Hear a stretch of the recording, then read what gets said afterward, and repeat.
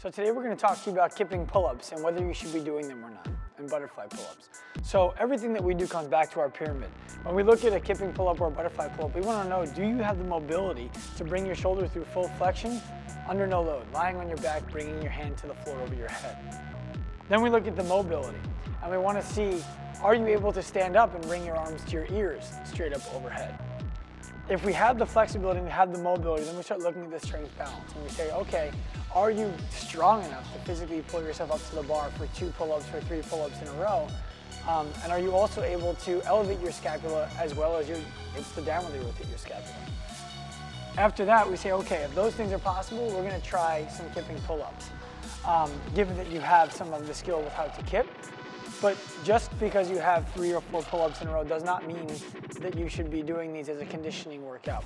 You want to treat these more like a strength or a skill where you're focusing on getting one or two coming off the bar and resting because we don't want to see your skill fade because your work to rest ratio is no good. You get sloppy and you forget how to do these. So now you have some better information on whether you should be doing butterfly or kipping pull-ups or not. Uh, until next time, this is Dr. Sean with The Active Life giving you a brute strength tip.